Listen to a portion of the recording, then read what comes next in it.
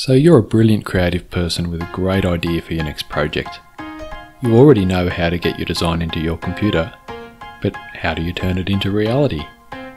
Not just 3D printed trinkets, but real parts.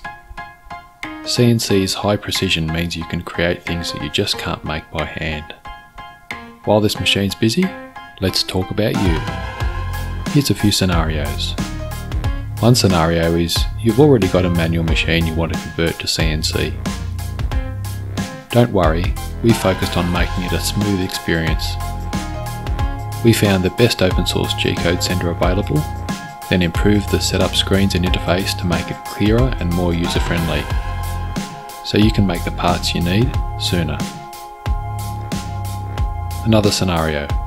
You've already got a machine, but the controller system needs another access.